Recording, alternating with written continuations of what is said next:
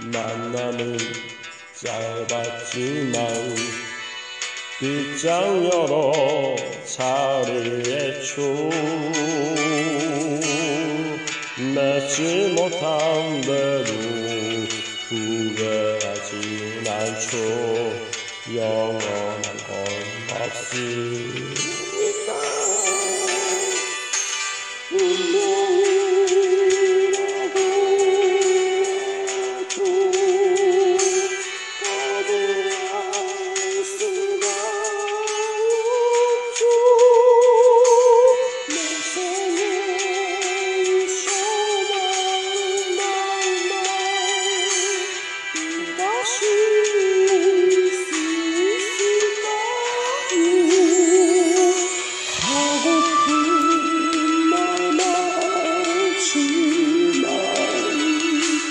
还是你